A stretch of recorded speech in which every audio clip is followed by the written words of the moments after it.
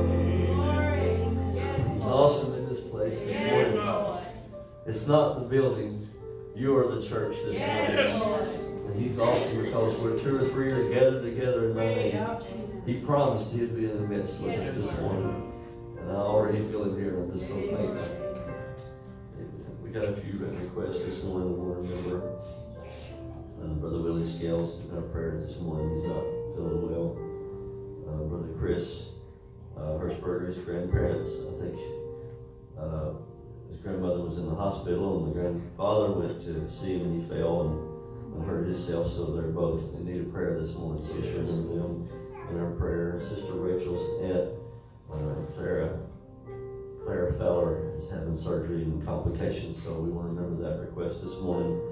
God is mindful of each one of these. We want to continue to pray for our brother Ron Spencer that God would just completely touch our brother and, and bring him back a hundredfold. I believe God is able. We want to continue to remember our pastor's wife, our mother, I'm sorry. I Remember Sister Nellie in our prayers this morning, Sister Debbie Moore and Sister Judith. There's lots of requests this morning. We serve a great big God that is able to do exceeding abundantly above all we can ask or think this morning.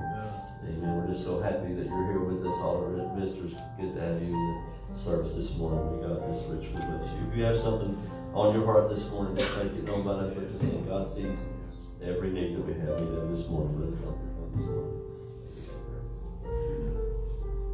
Where'd you come to have church? Amen. And the building don't matter, does it? Right. The bride of Christ is gathered together. No evil spirit can come against her. Amen. Because she is the one true Yes. Lord. Amen. Let's just all pray together. Will you pray with me? Amen. Heavenly Father, Lord. Lord, what an honor, Lord.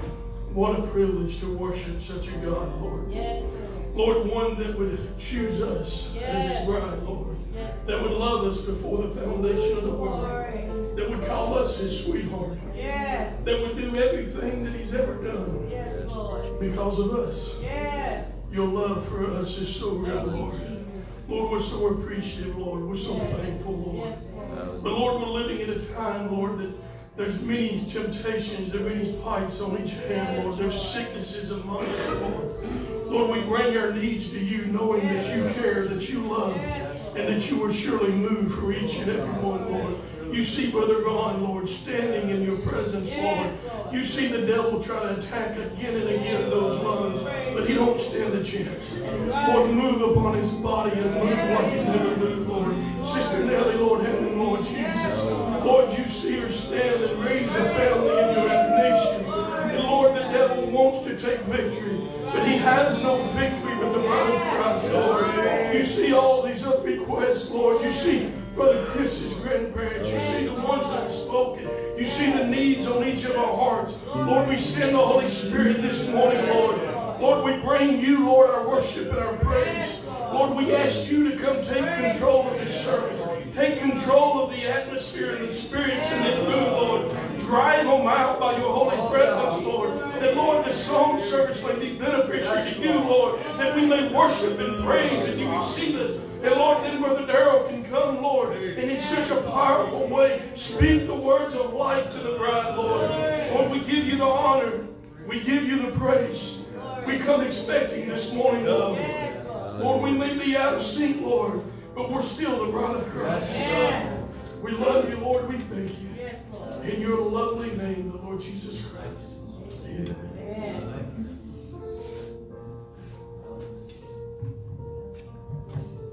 Aren't you just thankful for the presence? Yes, Lord. Feel this morning. Just wanted to let you know if you have to uh, need to go to the restroom or anything, go out the doors here and go to the left. Uh, you pass the restaurant and go to the left, and they're back behind the elevator. So if you need to go, that's where the restrooms are this morning. So we thank you, but I'll tell you, our pastor has got something great in store for us if we can just endure for just a small, short time. Amen. I'll tell you, you're going to be, going to be blessed. And I'm just looking forward to what God has in store. Are we ready to worship this morning? Praise the Lord. Getting ready. Let's sing this morning. I laid up my treasures in that home above. I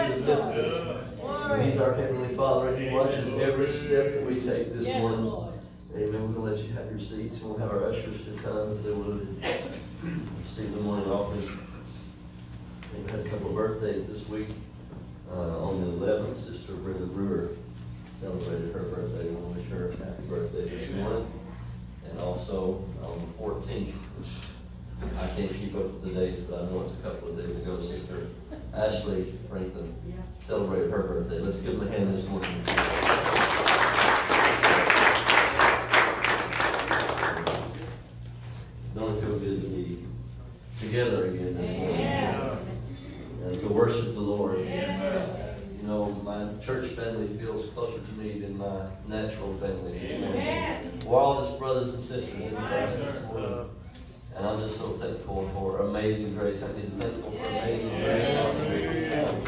Just sitting at this morning.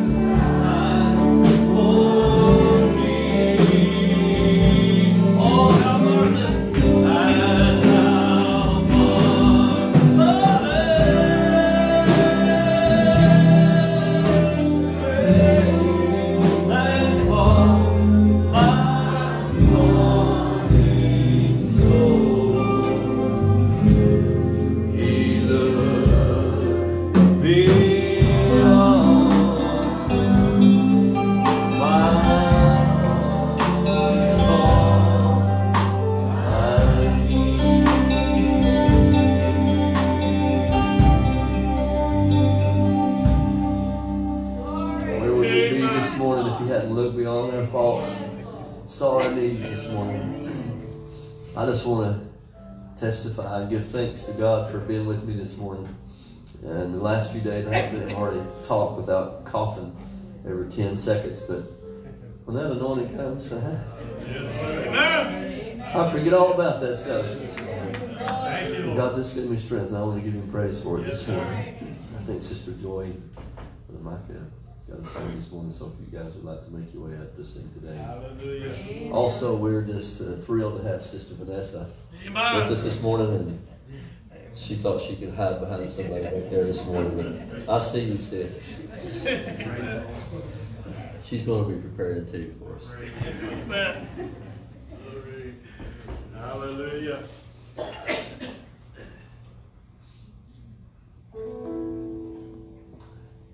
Bless the Lord. Bless the Lord. Bless you.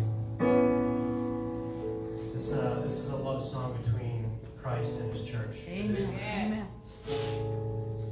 Amen.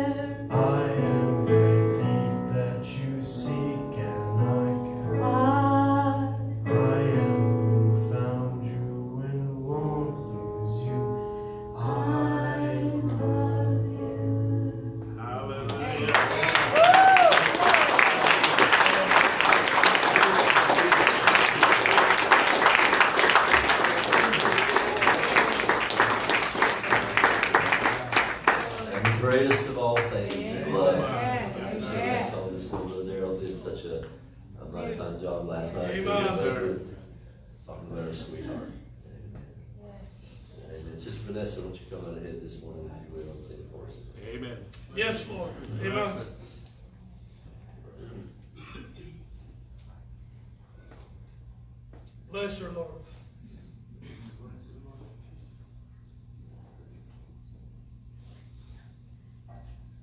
Bless her. Bless her, Lord. Hallelujah.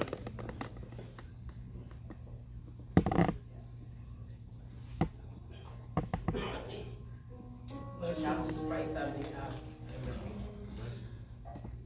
Uh, having to go through, I've been through.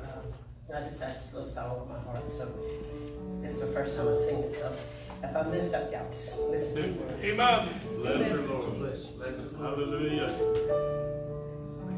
How can I?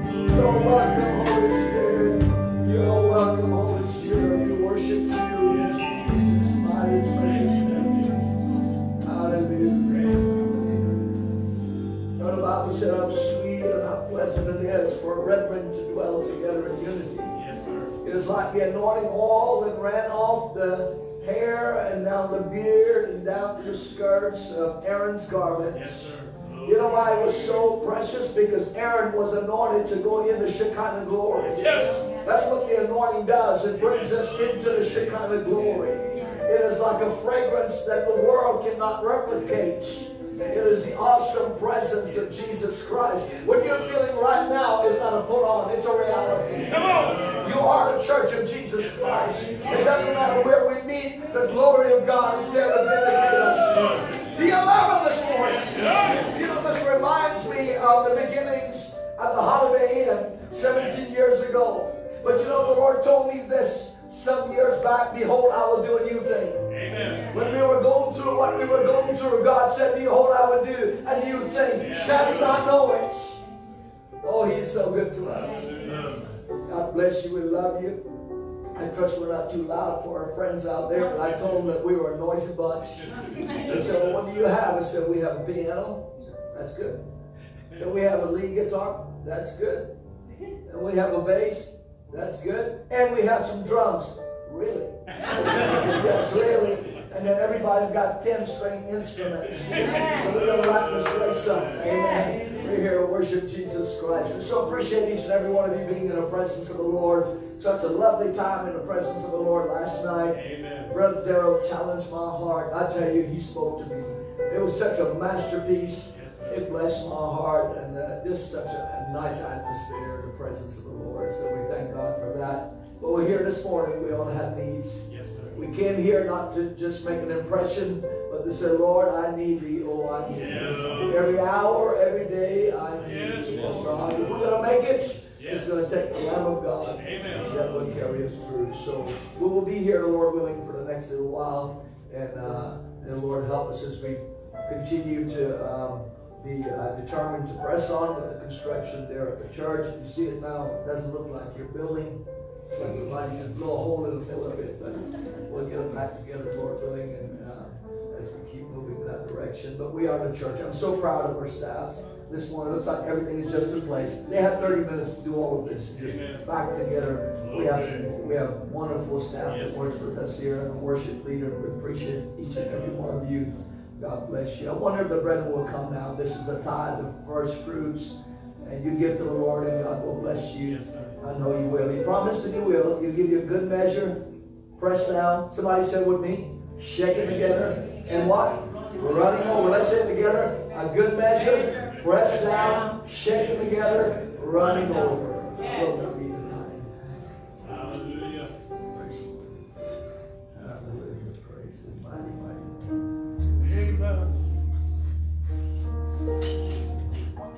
When pains of death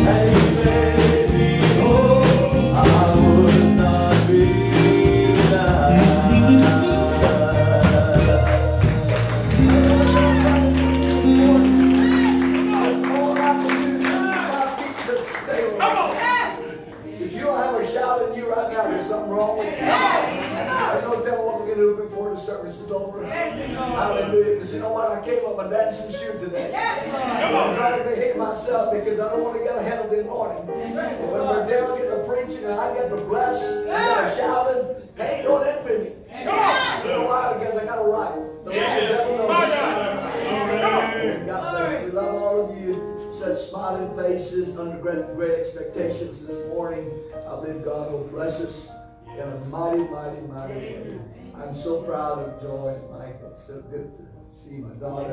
Amen. I can call my daughter in the gospel. Amen. It makes my heart happy when she comes home yes. and to see our spiritual daddy. Amen. We love you all so much. Thank you for the songs. All of you in the house for this morning. We appreciate you so well. Let's pull in a gift. Yes. As you know, Brother Darrell has a very unique gift in his life. And God uses him so mightily Yes, sir. in his message he brings and his way of bringing it. And uh, let's just pull from that. And you have a need, God will Yes, minister to your need this morning. Let's change the order of the service. Amazing grace, how sweet that sound. To save a wretch like me as we invite God's servant to come. And uh, you feel like worshiping the Lord, you feel free to do so. Lift your hands up, say amen to the word. Amen. You know, that's what ushers in the presence of God. Yeah. The anointing is like a magnet. Yes. It attracts. Man. And as you begin to praise God, it's that magnet that brings in the anointing. Amen. Hallelujah. It doesn't hinder the preacher when you say amen. Amen. Come on. So let's sing Amazing Grace one time so brother comes. Brother, I just want you to feel liberty in this place. It's not our church, the building that we're at, but one day we're going to have a building. We'll, we'll be in that mansion. Glory. Come on. We are the church of Jesus. Amazing Grace, how sweet. God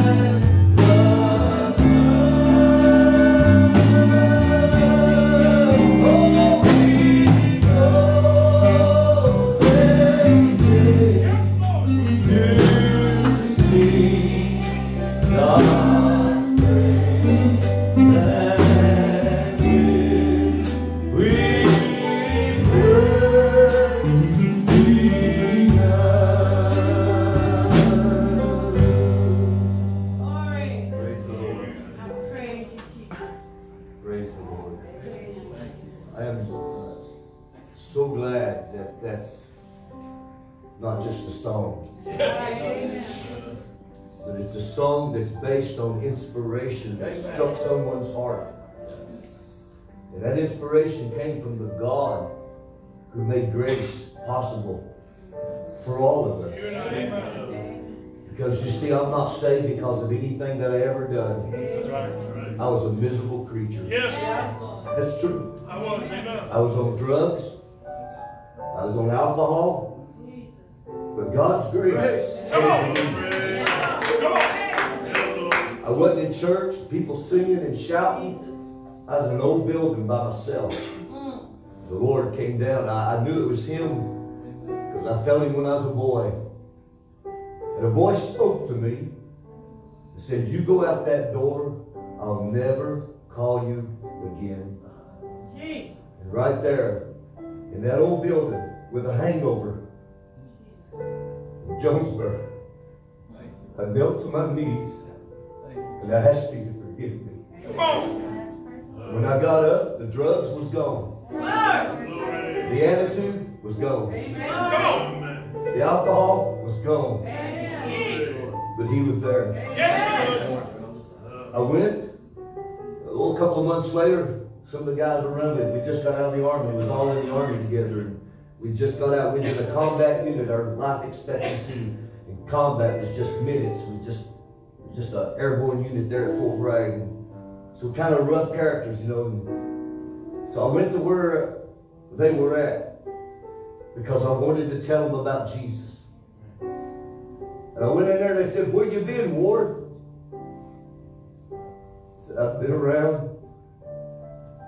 I said, you want something to drink? I said, I don't drink no more. Amen. Come on. Hallelujah. You want to smoke some dope? I said, I don't do that no more. Have mercy, Jesus. I said, I found Jesus. Amen. Come on. And you know what they did? They laughed at me. They made fun of me. Yes. My face was red. I, I'm not ashamed to tell you. I got to crying. I walked down that building. I could still hear them laughing when I was going down the sidewalk. And I got to the car and I shut the door and I said, Lord, I ain't got a friend left in the world. There's a voice spoke to me.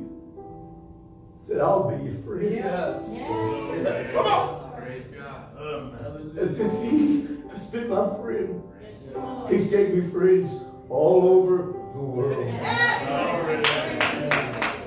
I'm so happy today to be gathered here with not only my friends, but with my family. And every one of us here, one day, you'll come to that place That's right. that you'll either receive him or you'll reject him. When he pulls on your heart, that's the time to surrender. Yes. sir. If you have your Bibles this morning, turn with us to the book of Second Peter. We want to read from Second Peter chapter 1, verse 16. We greet you in the name of the Lord Jesus. Service is going to be just a little bit different this morning, but just felt to go this way. We got up real early this morning and was looking at things. And got up and took a shower and came back and sat down and it just spoke to my heart. So we want to go to this Amen. direction this morning and we trust it'll be a blessing to you. Good to see all my friends. Just love the Lord. Amen. Certainly enjoyed the banquet last night. Oh, Just a. Good time of laughs and fellowship. Hallelujah. and Just really wonderful. Second Peter chapter one, verse sixteen.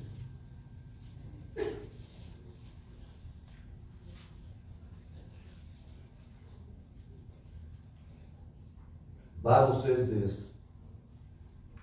For we have not followed cunningly devised fables when we made known unto you the power and coming of our Lord Jesus Christ. But were eyewitnesses of his majesty. Yes, praise Eyewitnesses of his majesty. Let us bow our heads. I want to speak to you for just a few minutes this morning on witness of his majesty. Heavenly Father, thy word is true. And what a privilege it is to gather here this morning, not under a creed or a dogma, not under an organizational banner, God, not under a political banner, Lord, but we have gathered here under the banner of the blood of the Lord Jesus Christ. Knowing, Lord, that while we were yet sinners, Christ died for us. And Lord, we thank you this morning for all that you have done for us, Lord. Knowing that you're the same yesterday, today, and forever. The same God that was with Samson when he slew the Philistines. The same God that was with Daniel in the lion's den. Was the same God that was with the Hebrew children in the fiery furnace. The same God, Lord, who was with Paul when the boat was wrecked, Lord, and the snake stuck him on the hand. The same God that was with William Branham is the same God that is with us today. You're the same yesterday, today, and forever. And Lord, we are a witness of your majesty. And I pray, Lord, that the things that are said today would be for thy glory, Lord. that no matter what we face in life, we serve a God who cannot fail. Lord, may you speak to every heart today, Lord. And we be realize, dear God, if you're the healer of our bodies, then surely, Lord, you're the Savior of our souls. And Lord, we just commit this congregation into your hands. Every spirit, may it come subject to thy spirit this morning. And we bind the enemy in the name of Jesus Christ for the glory of God. Lord, we just commit the service into your hands now for your glory. For we ask these things in Jesus' name. And the bride says, Amen. God bless you. You may be seated this morning. You know, the prophet of God said that the ever remembering God remembers every promise of his word. You see, God don't forget nothing, though it looks like that he does. But God doesn't forget. He doesn't forget his curses, neither does he forget his blessings. But every promise that he made, he stays with it. Every promise that he made. You see, God will not make a promise to you that he's not able to keep. But everything that God says he will do, because there's one thing about God. God does not lie and God does not fail. So if God says he's our healer, he's our healer. If God says he's our deliverer, he's our deliverer. If God says he'll send us Elijah the prophet, he'll send Elijah the prophet. If God said he'll forgive you of your sins, he'll forgive you of your sins because God keeps every promise of his word. He promises a revival. He promises that these signs shall follow them that believe. He promises that the prayer of faith shall save the sick. I don't know the mechanics of it. I don't know how God makes blinded eyes see. I don't know how God makes the lame walk. I don't know how God takes a, a man that's addicted to drugs and says, I don't know how God does that. But I don't have to know how he does it. I'm just glad that he does it this morning. Amen. I don't have to know the mechanics of it. I don't have to understand all the ins and outs of it. I'm just here to say this morning that I believe that my God is able to do that which he says he will do. And here, several years ago, I was in a meeting. And I was sharing with the Lord, uh, sharing with the people what the Lord had done for Jessica, my daughter, who's sitting in the service this morning.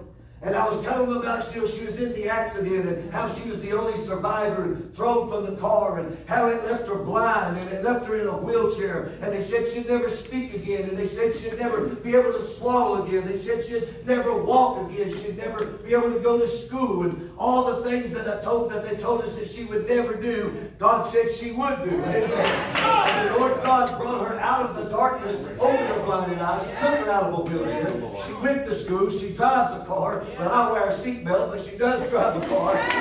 Amen. Amen. So I was sharing with the people all the things that the Lord had done for her. And that afternoon, when we came back to the service, a sister came up to me and said, Brother, Brother Darrell, can I speak to you? I said, Yes, ma'am. She said, My son never listens in church. Oh, I know a lot of kids like that. They never listen in church. Said, but on the way home that day, said my son said, Mom, I really enjoyed the service this morning. And she said, "I'm about run off the road. Said, my son never listens to church, plays with his phone and all these things, you know, that they do. And said he just never listens in church. And I said, son, what made you listen this morning? I said, what was it that, that Brother Darrell said? He said, Mom, he said, Brother Darrell told something that happened to him personally. Come on. He said all I ever hear is people talk about what the Lord did with Brother Branham's ministry way back in the 1960s. But he told something that happened to him personally. And I'd like to say this morning, I thank God for everything that God ever done in Brother Branham's ministry. I'm not being do you this morning. I'm glad that we can listen to the tapes and hear the blinded eyes and the deaf and all the things that God. I'm so glad that God done it, and I'm glad we can look back and see those things. Amen. But I thank God not only for what He done in the 60s, but I believe that same God is doing great things today. I don't believe we have to go back to 1960 and find out something that God did, but I believe God's doing things today. I believe God's doing things in this service this morning. Amen. I believe that. Brother said, you sick and needy here, God has already purchased your healing. You're already healed. Every one of you. Healing is something that was a finished product of Calvary. That's where every redemptive blessing that, that Christ died for was completed at Calvary. The price was paid. The devil is only bluffing you. Amen. An MRI, a bad MRI, is only the devil bluffing you. You're already healed. Amen. Amen. That's the promise of God's word. You see, if God can heal one person, God can heal all people. You've just got to believe that He's here. And you've got to believe that He wants to help you. And if you believe that and accept that, then He can help you this morning. Amen. You don't have to pump it up, work it up. He's here because He said He would be here. Or two or three are gathered in my name. It's not the drugs that brought Him on the scene. It's not the piano that brings Him on the scene. But it's when you and I gather here in His name. He said, when two or three I will be in their midst. Amen. So He's here this morning because He said He would be here this morning. And God keeps every promise of His word. And I'd like to say this morning that I am a witness that God keeps His word. You know, down in Arkansas, Jonesboro, Arkansas, Brother Branham tells a story of a black girl down there that was blinded. Yes, sir. Come on. And they had heard on the radio that God had healed a man who was blind that morning.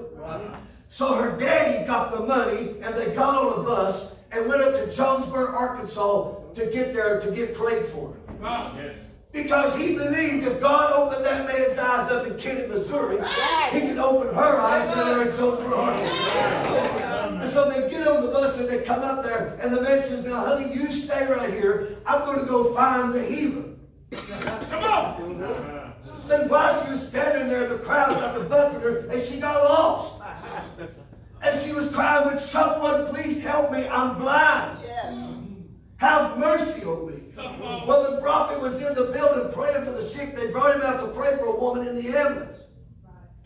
But when he got done praying, the God raised the woman up from the dead. And they came out of the ambulance and they said, Brother Ben, we can't get you back around this way. There's too many people. We have to go around this way. But you see, the footsteps of the righteous are ordered of the Lord. And sometimes what we think is a bad thing is actually God bringing us to a victory. And so he goes around this way and he's trying to get through the crowd. Now all these people are there to see Brother Branham to be prayed for. Well, they didn't have monitors in that day. They didn't have eye watches in that day. You know now you can talk to somebody on your on your wristwatch. Ask him. He's got one. He's got one. Guys talk to each other. We do that church. But they didn't know Brother Branham from Adam. Right. And he was passing right through. Yes. Excuse me, I, am trying to get, I'm, I'm, I'm, sorry, I didn't mean to step on your toes. So, you know, would you move? I'm trying to get in there to see my, and the one that was wanting to see was passing right by. And I think, Tim, sometimes I think, how many times has Jesus Christ sat right beside you in the church that you failed to recognize him because you didn't see the mask that he was wearing? He goes around there and he finds the girl. And he, and he stands to where she'll bump into him. She said, Excuse me, sir, I'm blind. And he said, Who is it that you're trying to see? Who is it trying? She said, I'm trying to get to the healer. He said, The what? She said, The healer. Come on. He said, You don't believe in that, do you? With all the fine doctors that we have today? She said, But you see, sir, they can't help me. Oh my. Come on, brother. They can't help me. She said, if I could just get to the healer. He said, maybe I'm the one you're looking for. And she said, are you the healer? He said, no, ma'am. Jesus Christ is the healer. I'm just your brother. Oh, hallelujah. And he, he said, if you'll just pray for me. Yes, sir. He said, if you'll pray for me, I'll find my daddy myself. That's right. Go. Amen. And you know the story. The prophet prayed and her eyes came open. Yes.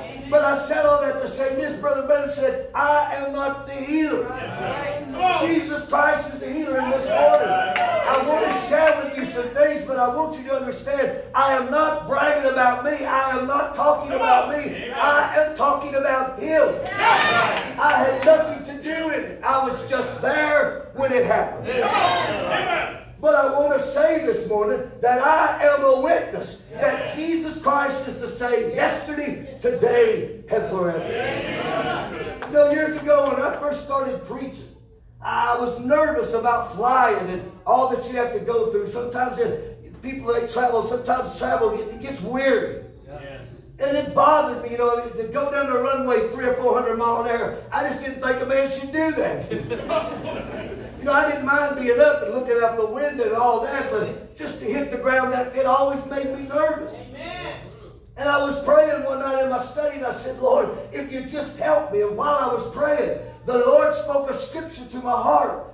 Psalms 121, verse 8, and I, I'll be honest with you, I didn't know what that said. Do you?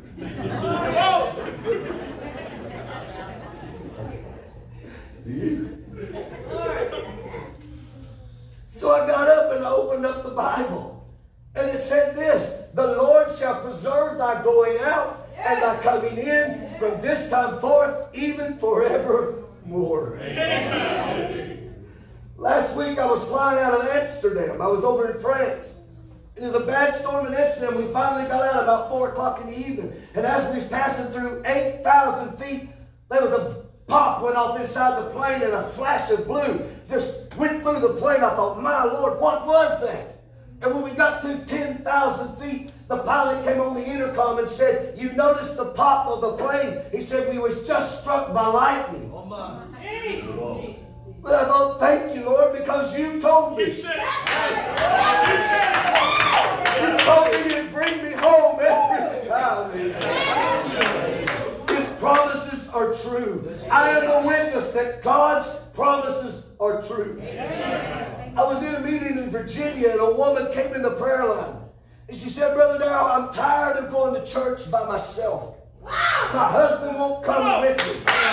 And I told her, I said, you take this handkerchief and you put it under his pillow. And I said, and when he comes to the Lord, you give this back to me as a witness of what God did for you. Come on. About three years later, I was up there in that meeting again, and there was a sister standing there, and I could tell she wanted to talk to me. So I turned to her, I said, Yes, ma'am, was you wanting to speak to me, sis? And she said, You remember me? And I looked at her and I said, Wasn't you in a prayer line here a few years ago with your husband? She said, Yes. And she said, I want to give you this handkerchief back. I said, I said, over there's my husband. I said, not only is he saved, he's a deacon in the church. If God can do it for her, God can do it for you. Amen. His promises are true. I was in a meeting in Delta, Pennsylvania, and there was a sister there that had glaucoma. And she was going blind. The doctor said they were sending her to a specialist. And so that she came up for prayer. Her name, I'll tell you her name, she's done gone to glory now. This was several years. Her name was Sister Betty. And she came up for prayer, and uh, she was wearing uh, dark glasses because the light, I guess the light with the glaucoma, it hurt her eyes, so she was wearing these dark sunglasses. So she came up for prayer, and the saints, we prayed for her. So she goes Monday to an eye specialist that they'd sent her to with the glaucoma. And when he goes there and examines her eyes, you know what he told her? He said, the doctor that sent you over here, they need their eyes examined. There's nothing- Hallelujah. There's nothing wrong with your eyes. He's completely healed of glaucoma. I was down in Mexico here a few years ago among the Maya Indians, and the Maya have their own language. And this woman came up for prayer, and she was speaking Maya. I can't even speak English, so I certainly didn't understand what she was telling me. And so I turned to my interpreter and said, Brother Dow, I don't understand Maya. I just know one or two words. And said, but she said something about her ears. I said, well, we'll just pray for her ears. So I took my fingers and I stuck them in her ears and I just prayed and asked God to touch this poor woman. And when we said amen, the woman jumps back, her eyes are about this big, and she looks around and she grabs her friend and pushes her up there. And I turned to the interpreter and said, God has healed the woman's ears. Because when God does something for you, the next thing you want to do is testify of what God did. Amen. He took the woman and made her a witness that he's the same yesterday, today, and forever. Amen. I just like to brag about Jesus. Here a few years ago, I was in a meeting, and this man had a, a, a, a, a cancer in his ear. And it would scab up and bleed, and then it would uh, the scab would fall off, and then it would bleed, and it would scab up again. And for three years, he had tried essential oils, and he tried all these remedies and all these things that people, you know, you, you want to get well, you do what people tell you. Amen. My back was out here a while back, and I was in the foyer of the church, and somebody come up to me and said, "Is that Brother Dow? Have you tried that BioFreeze?" And I said, "Yeah, but." So I, I can't hardly stand the taste of it.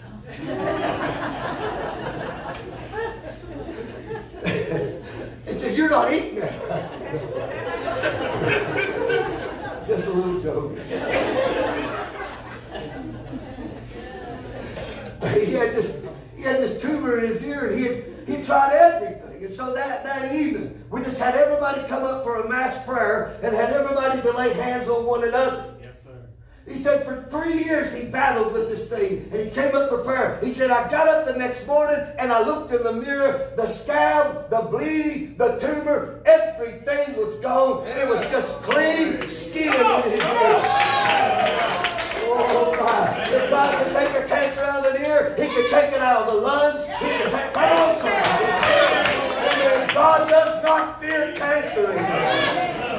Amen. Hallelujah. I was down in the Philippines preaching. There was a man down there whose blood pressure was so high, his, his nose was actually bleeding. And he was real nervous about it. His face was blood red. And he was sitting there on the stump and they come and said, Brothers, would you pray for this man? We're afraid he's fixing to have a stroke. His, his blood pressure is so high.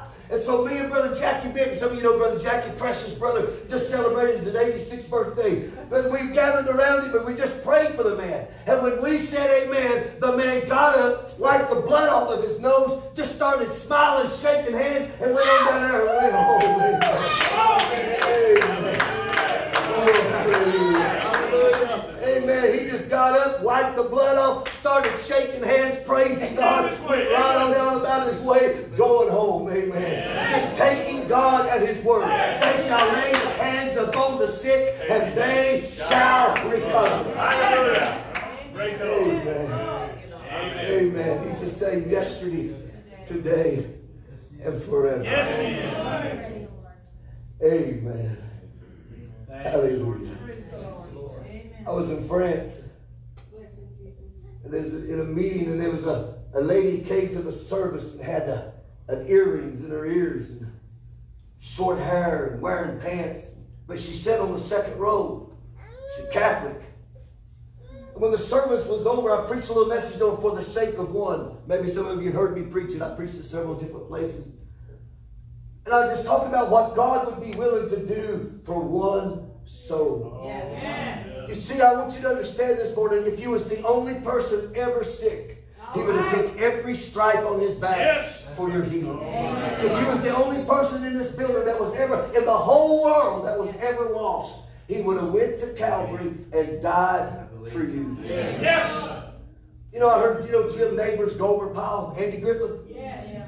I just happened to see a little, a little uh, clip of him talking. You know, he had a liver transplant. Of course, he's dead now. He passed away in 2017, I believe. But he was given a witness about this liver transplant, and he said, you know, he said, when you're in that situation, it's hard to pray with faith to get a liver. Because you realize in order for me to get a liver, somebody has to die so that I can live.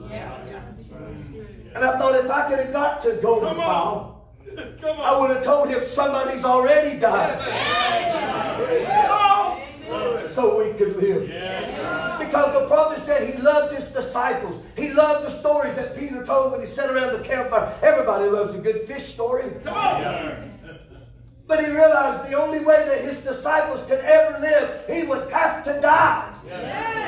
So he went to Calvary and gave his life so that we could have our life. And that's why he was so exuberant on that resurrection morning when he said, Because I live, you shall live also.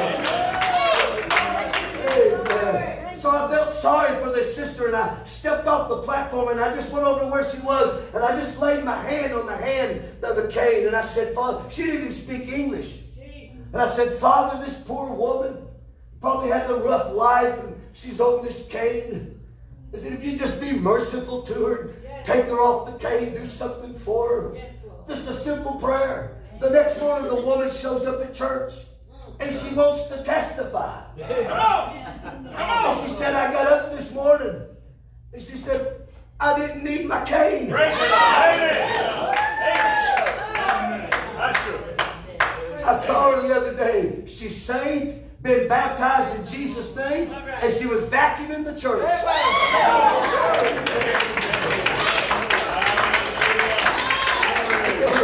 I told her, I said, every time I see you, you're getting younger and younger and younger. oh, hallelujah. Praise the Lord Jesus. Hallelujah. Thank you, Father. How beautiful. Amen. I was in Nicaragua a few weeks ago. Brother Ezekiel came up to me and he said, Brother Darrell, he said, right here on this spot, he was holding this child in his arms. He said, right here where we're standing right now. He said, do you remember praying for me with me and my wife? We couldn't have children. I said, yes. He said, it was right. I said, yeah, right here where we're standing. Right? He said, yes. Or see. And I said, Oh, well, praise God. I said, Is this your baby? Is this the one? He said, Brother, now, this is my second child.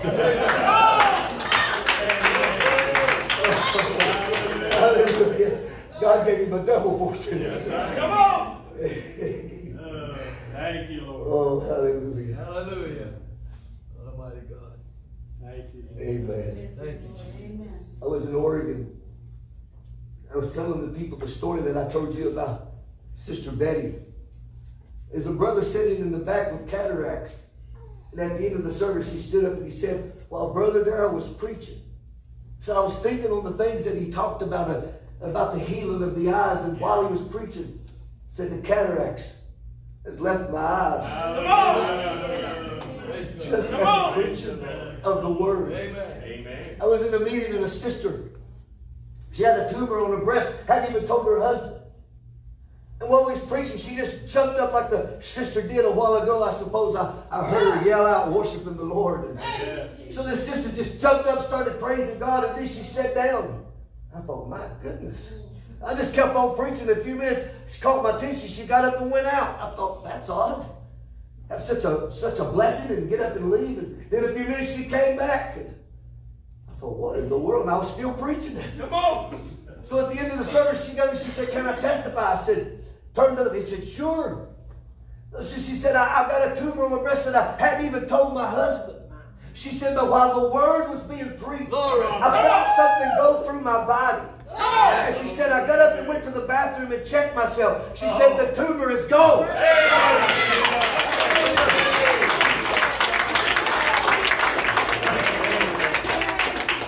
Praise the Lord. Glory. Bless him, Jesus. Amen.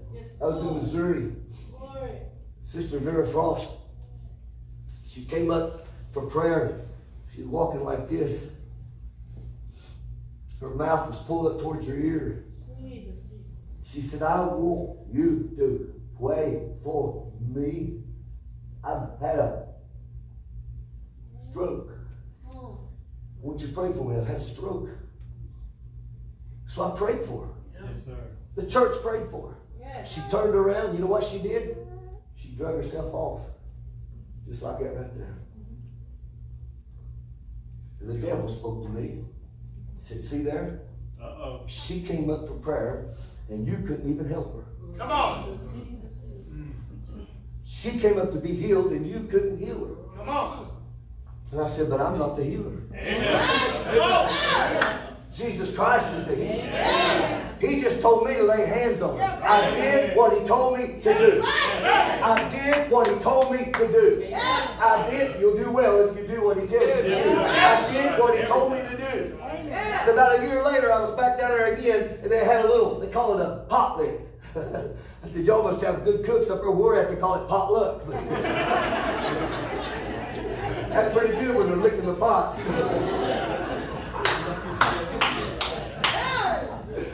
at the multi-purpose building is what they called it. And I see this sister come in carrying something and she went out. She came in. I said, do I know you? She said, yes, you do. Oh, yes. I said, was you here last year when I preached? She said, yes, I was. I said, didn't you come up the up to a prayer and you was dragging your right, you'd had a stroke? She said, yes. I said, you're doing real good now, ain't you? She said, yes, I am. God completely restored. Oh,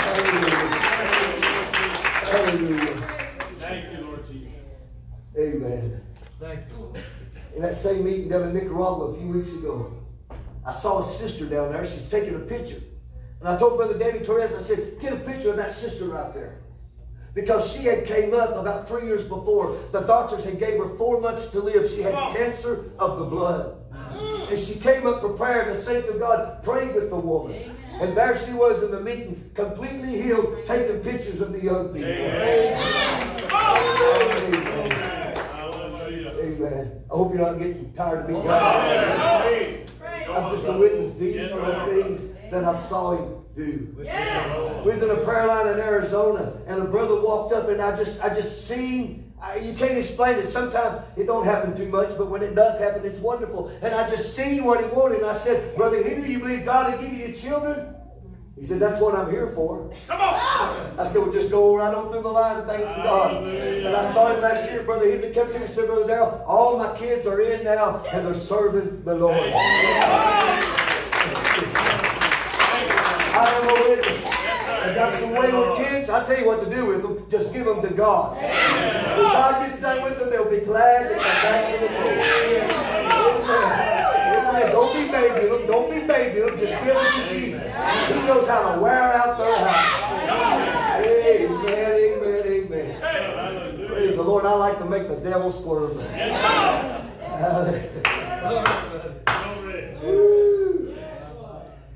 Amen.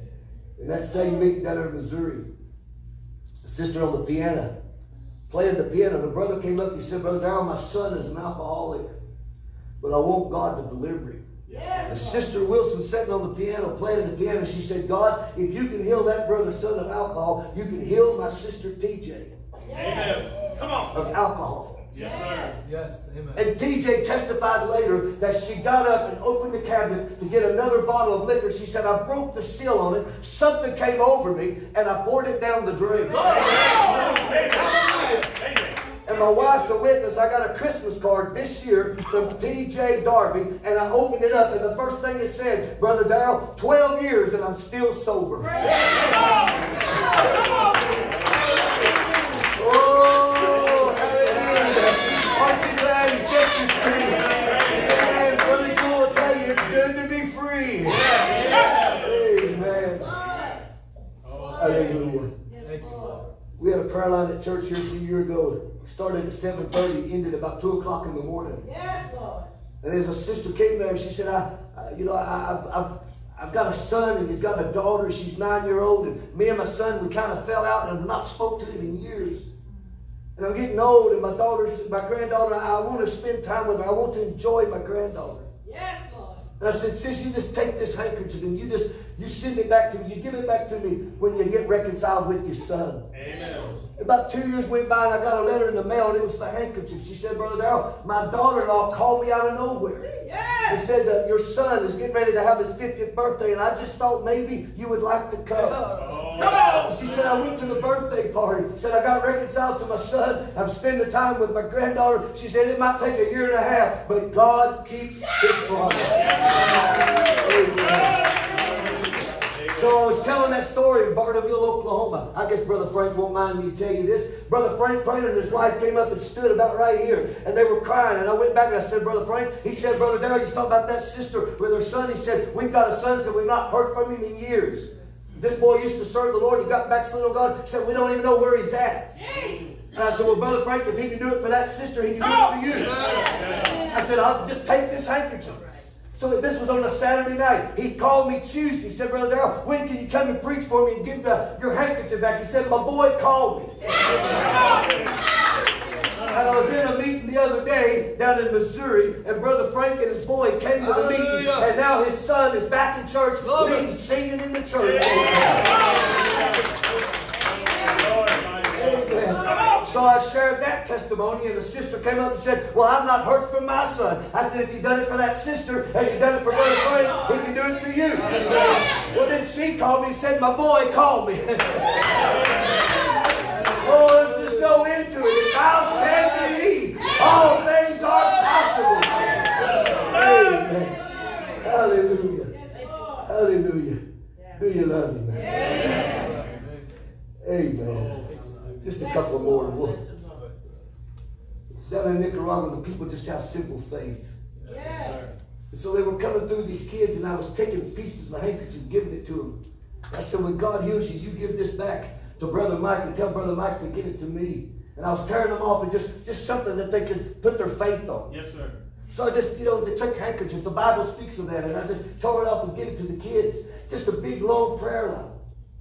Before the prayer line was done, the kids that was in the front of the line had come around and came back in the line and was giving me pieces of the handkerchief. I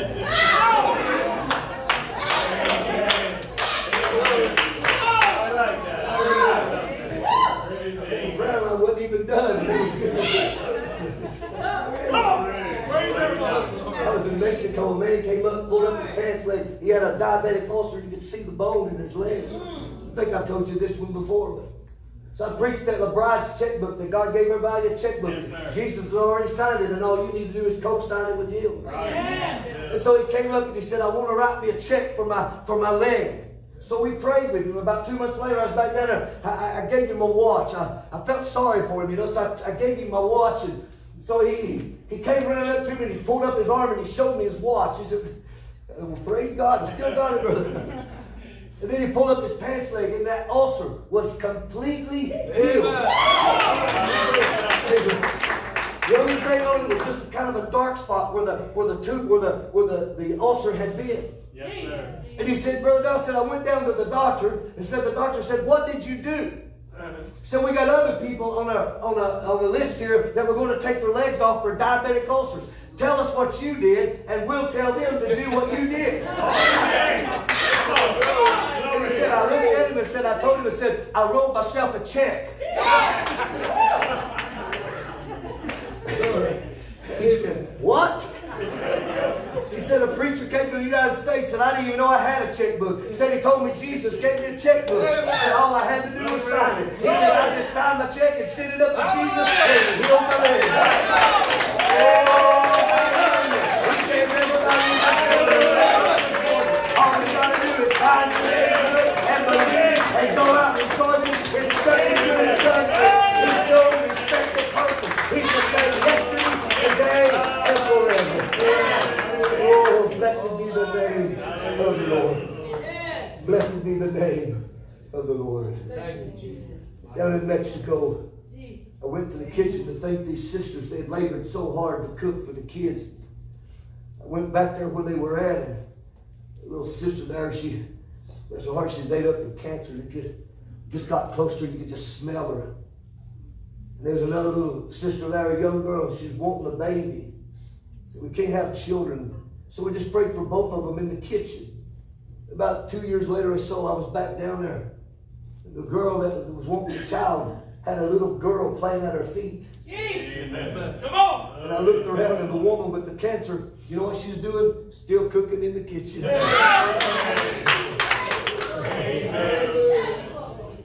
He's the same yesterday. today, and forever.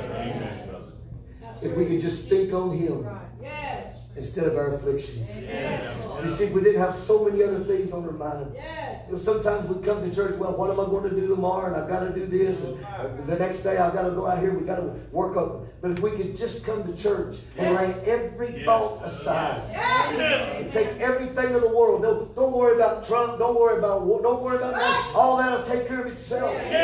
People, families will fight among themselves, and both of them's working for the same boss. Come on. Amen. This nation is finished because the prophets done. Pro- well, brother, now we're having prosperity. Let me tell you, people get better to die.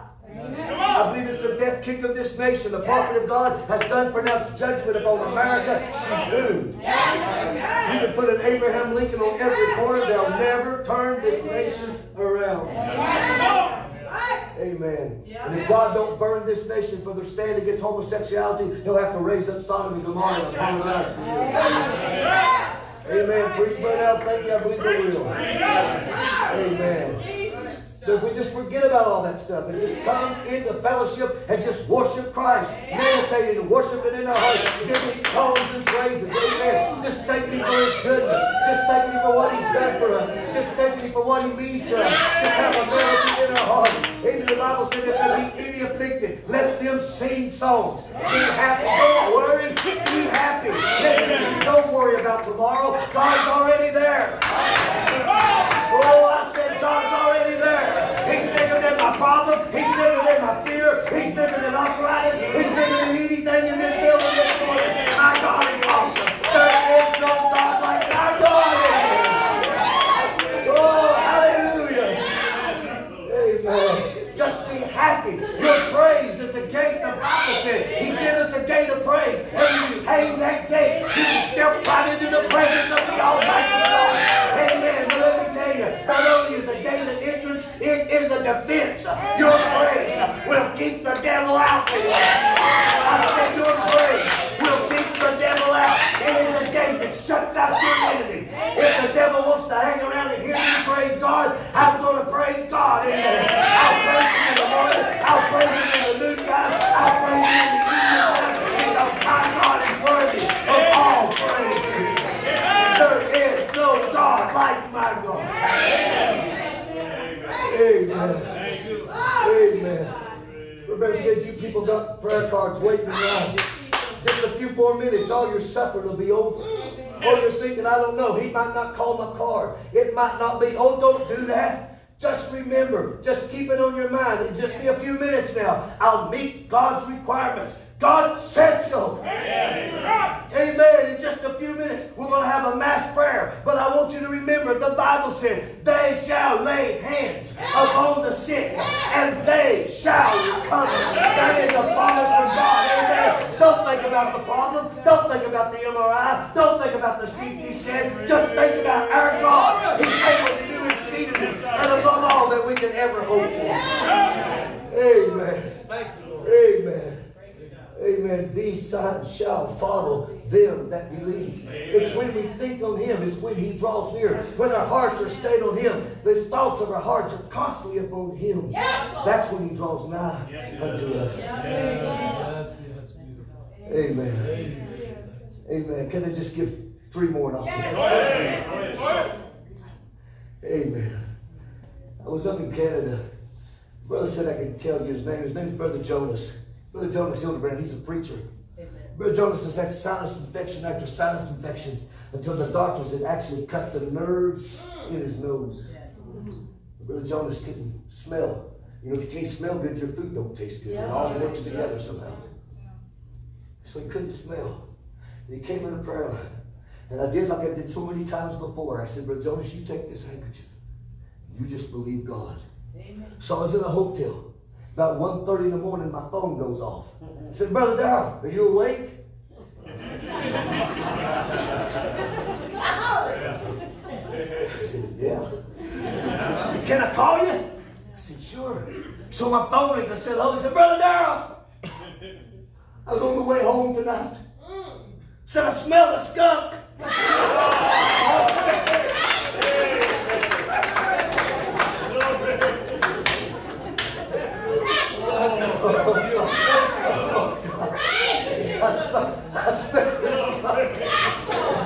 He said it was wonderful. And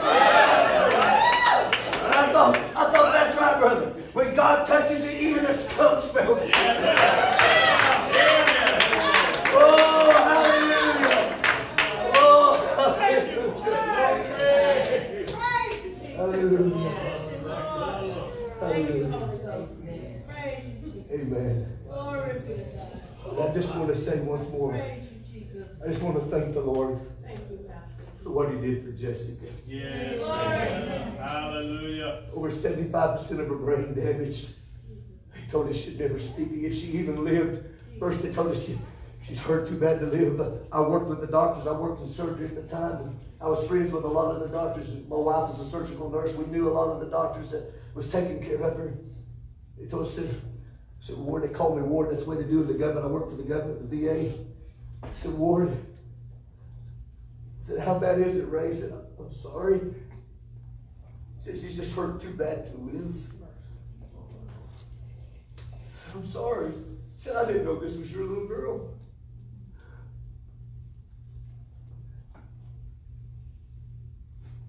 So the day of the funeral, my wife's father, Brother Homer, of you know Brother Homer, her, my wife's sister Rachel, she was eight year old. They were killed in the accident. The day of the funeral, they called me. I was staying right down the hall. Cheryl had went home to get ready for the funeral. So they come and said, the doctor needs to see you. And I go running in there and they said, we, uh, Jessica's lung has collapsed. So we got to go in and, and get that lung back up. Said, we think there's chewing gum. Said, was she chewing chewing gum? Said, we think she sucked chewing gum in her lung. So we got to go get it. I said, can you wait? I got to go bury my family. I said, can you wait I get back? And I don't want her to be down there by herself. She's just two and a half year old. I said, no, we got to go right now. So I signed the permit, give them permission to take her to surgery. And I go out, didn't have cell phones much in them days. Got on the payphone, I called my brother, I said, Dwayne, would you come and sit with her? I know you want to go to the funeral. I said, but I don't. He said, I'll be right there. So I went to the funeral and I came back. When I came back I, at the funeral, I pulled Brother Donnie off to the side. I told him what was going on. I said, would you just pray with me, Brother Donnie? So just right there on the side, we just had a little prayer. I go back, I thank the people for coming to the funeral, and I rush back to the hospital. When I get there, they didn't have to take her to surgery. Come on, brother. They decided she didn't need it. And I was sitting in the waiting room, just a warm feeling come over me. Yes, sir. And a voice spoke to me and said, Your daughter shall live.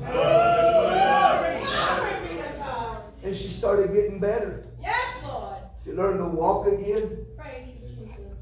She learned to eat again. Amen. I remember when she swallowed. Oh my, what a jubilee that was. Amen. And everything but her eyesight. And you all know the story, but I just want to show. She was blind. Didn't want my baby to be blind. I believe, I believe I could have took the wheelchair more than I could took the blindness. You know what I'm saying? I just, I didn't want her to be blind.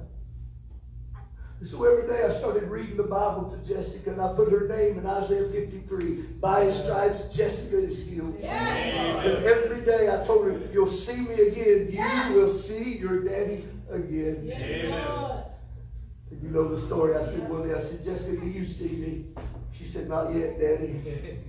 She started believing what I told her. Yes. And I thought, oh God, why, why can't I be like that? Why can't I believe you? Just with that childlike faith. Yeah. Daddy said he'd heal me. Daddy said he'd rapture me. Daddy said he'd give me the Holy Ghost. Daddy said he'd never leave me, nor would he forsake me. That's what our daddy promised us. And his promises are true. I am a witness that he keeps his word. I was in a meeting down in Louisiana one time, and a girl was a cutter. She had all these scars where she cut herself, but God had delivered her from it, but she was ashamed of them. And she, this particular service, she had wore a short sleeve uh, shirt.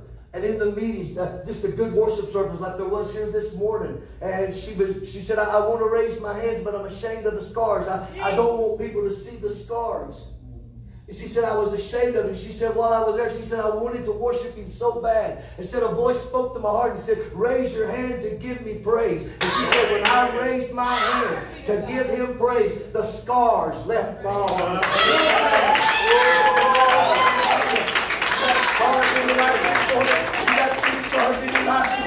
God can take the scars away. God can take the Amen. Hallelujah. Glory be to God. She said, not yet, Daddy. And one day, I don't even know exactly the day, but I just know we was in the hospital. Jesus came through the Come hospital on, brother. Amen. and he touched Jessica Yes. Amen. and he opened her eyes. Amen. And today, Jessica, amen. Just I don't want to embarrass you, honey. Would you just stand up? Would you just stand up? He's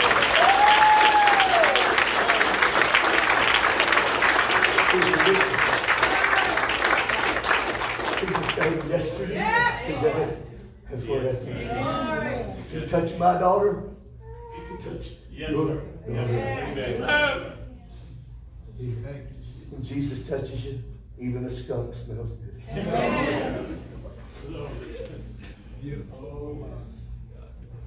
Just one more. I'll close. Hope I've not kept you longer. That's fine. When I was in Alaska, Chevak, Alaska, way up, so far up on the earth that you can see the curvature. of It's neat. You can actually see the curvature of the earth. A bunch of Eskimos. Have you ever been there, Brother Justin? You've been there. You know what I'm telling you. The land snowmobile comes out and picks you up, and my Lord. The village of suicide rates real high among young people. Yeah. Drugs. This young girl, about 21 year old, had a little three year old child. She came up. She said, Brother Darrell, I'm an alcoholic. She said, I've been through 12 step three different times. Mm. That must be some kind of alcohol program. I just had one step myself. Come on. She said, I've been through 12 step three times. Mm. Said, I just cannot quit drinking. She said, I've tried everything to quit drinking. And I said, sis, have you tried Jesus? Amen. Come on. Thank you, Lord. I said, when you pray, we're going to pray. And when we pray, I want you to lay that alcohol right here at the altar and take his freedom That's and go back free. Yes. And I started praying for that little girl. I'll never forget it. It made the whole trip worthwhile. I was praying for her. She let out a scream. And she started screaming, I'm free. Yes. I'm free. Lord. I'm free. Yes, Lord Jesus. Maybe some of the screaming right here makes you nervous. Lord. People jumping up, maybe that makes you nervous. Come on. But you know, down in Florida, as we close, down at the Air Force Base in Florida, they were complaining because those fighter jets were flying over. You ever heard them? They'll rattle every dish in your cabinet. That's right. And they were complaining because all the jets noise, and so they petitioned and they, they, they said, "We want you to stop flying those jets around here. You're making too much noise." So the Air Force put a big sign out there at the front of the gate, and the sign said this: "Pardon the noise, but it's the sound of freedom." Today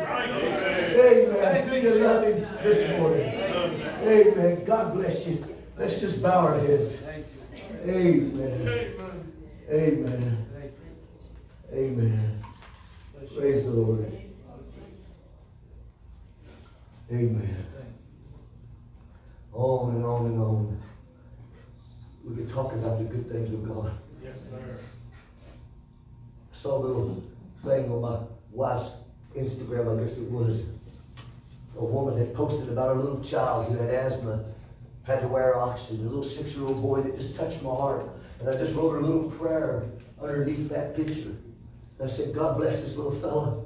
Shouldn't have to wear that oxygen. He's a little boy, should be out playing. Yes. I said, Lord, just touch him. Take him off that oxygen. Let him just have a normal life as a little boy. Just a simple prayer like that. A couple hours later, there's an answer came back. Said, Brother Darrell, thank you for praying for my little boy. Said, when my husband was a boy, you passed through Arkansas. Said he had asthma. Said you prayed for him. Said God healed him. He said, if God can heal my husband of asthma, he can heal my little boy. Yes. Here about six months ago, I was preaching for Brother Matt down there in Arkansas. And this guy comes walking into the study. He said, You remember me? I said, No, I don't believe I do. He said, I was a little boy, I had asthma. I said, You him? He said, Yes.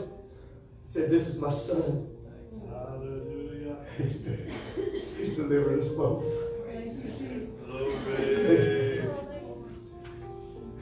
Heavenly Father, how great thou art, Lord. Yes, Lord Jesus. Every praise is to our God. Praise. Every word of worship in one accord. Every praise, every praise is to our God. Lord, I, I know in a congregation this size, there's many needs here, Lord. Some sickness, some spiritual needs, Lord. Some here, God, the devil would love nothing more than to pull them down to hell. Come on.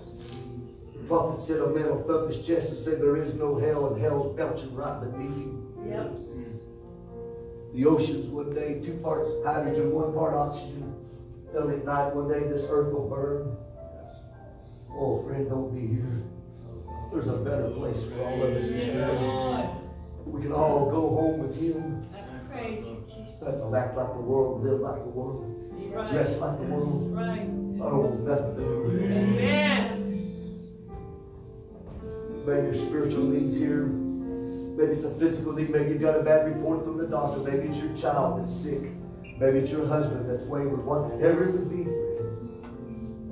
But Lord, I know there's this congregation this size. There's many needs here, Lord.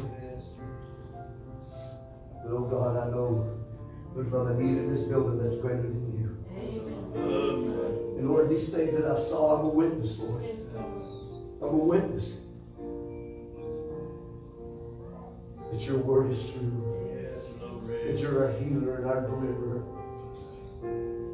Lord, every time I see Jessica open up her change purse and get money out to pay for something she bought, Oh, Jesus. I thank God that woman behind the counter has no idea she's seeing a miracle. Oh, Jesus. Oh God, I pray this morning, Lord, in this atmosphere.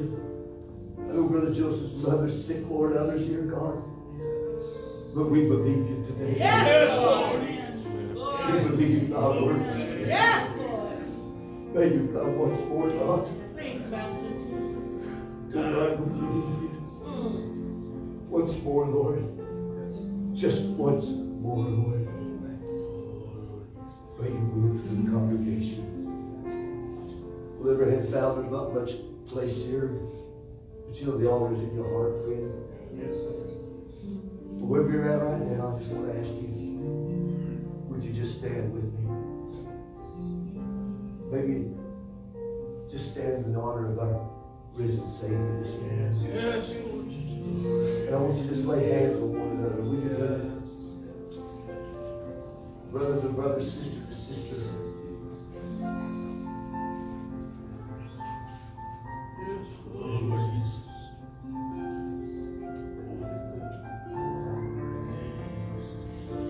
Heavenly Father, Lord, just a few testimonies, God, the things I've seen you do. Lord, I didn't, I didn't come that the people would look at me, Lord, but I told these things so that they would look to you. For you said, if I be lifted up, draw all men unto myself. Lord, in the setting this morning, we lift you up in the midst of the congregation. And we believe, Lord, the promise of your word is true. We don't base it on emotion. We don't base it on sensation. But just solely upon thus saith the word of God.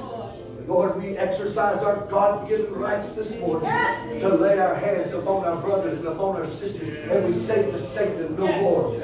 Satan, you're defeated. You're a defeated being. You have no hold upon us as believers today. I rebuke you in the name of Jesus Christ. May the sickness leave the people today. May fear leave the people today. May cancer leave the people today, Lord. I pray in the name of Jesus Christ. May high blood, low blood, no blood, Lord, Father, God, take the shackles off, Lord. Take the chains off of people today. For we are free like that little girl straight down in Alaska, God. And Brother Eddie told me the other day, she's still sober because when you do something, you do it well, Lord. I pray in the name of Jesus this morning, may you move through every congregation, every person here, God. May the flow of the Holy Spirit today. May it touch every life here, God. May every sickness leave fear, Lord. Oh God, our arthritis, depression, menopause, whatever it would be this morning, we rebuke it in the name of Jesus Christ. And we stand here and shout out today with our God-given right. We're not holding an obstacle, but we're holding the word of God today. And we hold it over the congregation. And we say, according to the word of God, we're free. The blood of the Lamb of God has made us free today. And we cast down every fear. We cast down every sickness. We cast down every depression in the name of Jesus Christ today for the glory of God. For the glory of God today.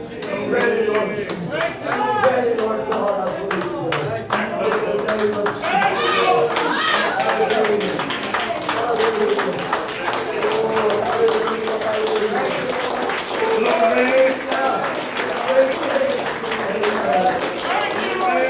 hallelujah. Let's just raise our hands to Him now and thank you. And just thank you, amen. Oh God, I receive it this morning in the name of Jesus Christ.